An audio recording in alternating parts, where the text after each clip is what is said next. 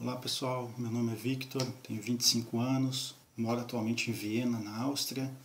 Uh, sou gaúcho, mas moro no Brasil, em Recife, onde eu faço doutorado em Geografia. Vou contar um pouquinho vo para vocês a minha trajetória de tentativa de aprendizagem de inglês, frustrante até poucos meses atrás.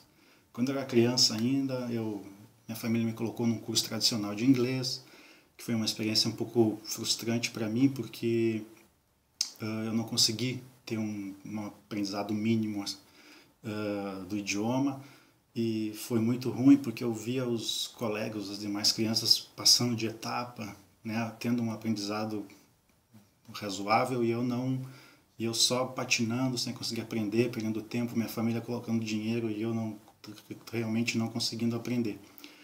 Então essa experiência foi muito frustrante para mim, acabou criando um certo bloqueio na minha cabeça, assim, que se somou a, a ouvir muitas pessoas né, com aquele discurso muito comum de você precisa ter o dom de aprender inglês, você precisa fazer um intercâmbio para fazer para aprender inglês. Eu não tinha essa condição e também comecei a perceber, a achar que eu não tinha o dom de aprender inglês. Então isso foi extremamente difícil para mim. Durante o, o após eu entrar na universidade, durante o mestrado, eu fui muitas vezes forçado, né, por por conta da, da do, do currículo de, de determinadas disciplinas na, na, universidade a ler textos em inglês.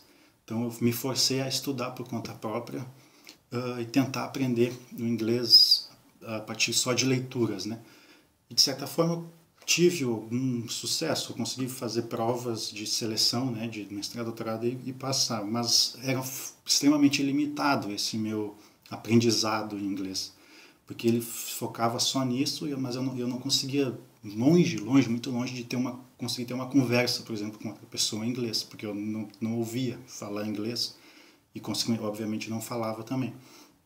Uh, então eu, eu essa, eu sempre sentia essa necessidade, mas eu tinha aquele bloqueio de, nossa, nunca vou conseguir fazer isso. Porque uma coisa é eu sentar e ler um texto que eu tenho, posso passar uma tarde para fazer isso, mas na numa fala tem que ser na hora, né? Ou assistir um seriado, por exemplo, eu, não, eu nunca consegui ter essa compreensão. Até um dia que uma amiga curtiu a página do Mário Vergara no Facebook e eu, por curioso, fui lá e cliquei também para ver o que, que, se tratava. E achei extremamente interessante os métodos do Mário, né, que ele utiliza para memorização e também o foco na compreensão oral, que era exatamente o que eu sentia a necessidade de aprender. Uh, não conscientemente, mas eu sabia que eu não conseguia ouvir uh, e após começar a, a seguir a, os vídeos do Mário e depois fazer a semana de inglês, eu vi e ele, e ele citar sempre, né? Você precisa fazer listening, listening, listening. E era exatamente o que eu, que eu, que eu não tinha e que nunca num curso tradicional falam para as pessoas, né? Então eu fiz a semana do inglês, fiquei extremamente encantado com os métodos dele que são diversos, né? Não, não, são um conjunto de técnicas que faz você realmente aprender inglês.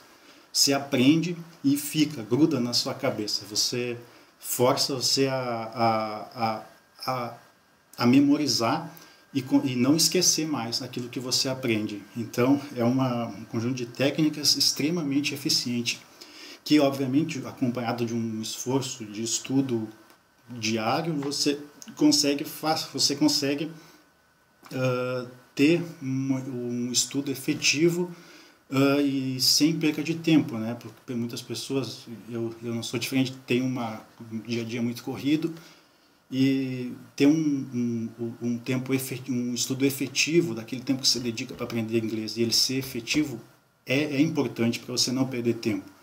Então, os, as técnicas que o Mário usa é, são extremamente efetivas.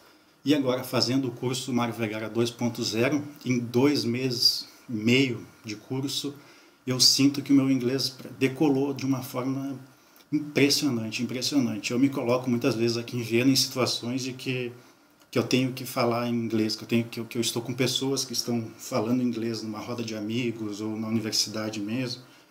E há dois meses e meio atrás eu compreendia muito pouco praticamente nada. Eu, eu ficava sempre em silêncio, só tentando entender, sem entender quase nada, e obviamente não falava.